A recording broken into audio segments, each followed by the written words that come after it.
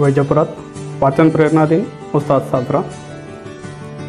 वैजापूर दिनांक सोळा ऑक्टोबर माजी राष्ट्रपती ए पी जे अब्दुल कलाम यांचा जन्मदिन.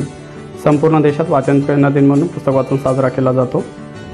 या प्रसंगी वैजापूर शहरातील पालिकेच्या मौलाना आझाद विद्यालयात शालेय विद्यार्थ्यांनी चार तास पुस्तक वाचून वाचन प्रेरणा दिन मोठ्या उत्साहात साजरा केला असून यावेळी ज्येष्ठ कवी धोंडीरामसिंह राजपूत यांनी वाचू वाचू वाचू पुस्तके आम्ही वाचू ही कविता सादर केली.